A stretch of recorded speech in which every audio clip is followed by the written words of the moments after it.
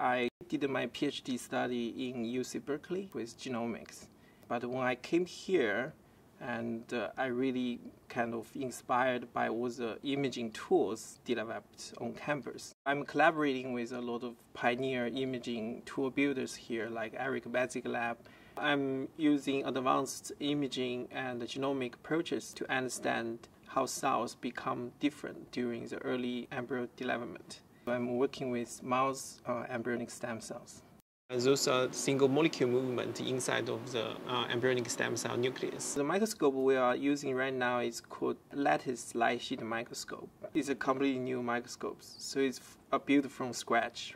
And this microscope, uh, one very special property about it is it just it can illuminate very thin uh, sheet inside of a living living cell with a very fine resolution like 300 nanometer which normally couldn't be achieved by other light sheet uh, techniques. So this really allow us to look at single molecules uh, inside of live cells in 3D while uh, keep the cells uh, live uh, for a really long time.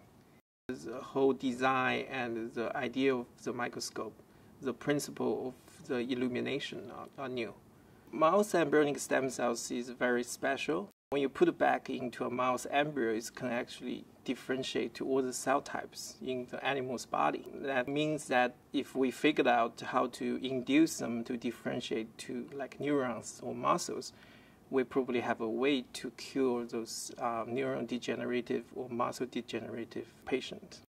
As a fellow, I'm currently collaborating at at least six uh, labs and two project teams on campus. I, I try to collaborate with people to explore different things, and see which which direction going to work.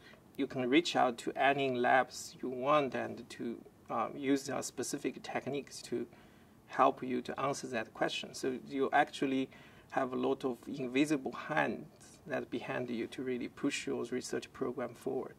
The fellow program normally is for three years, so I'm kind of in the in the middle of it.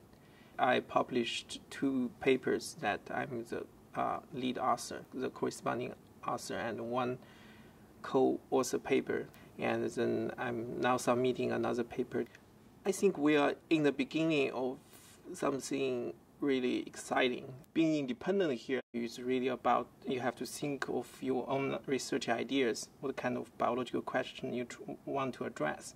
But once that is clear, it's very easy to find the right people to collaborate with and to help you to realize that idea.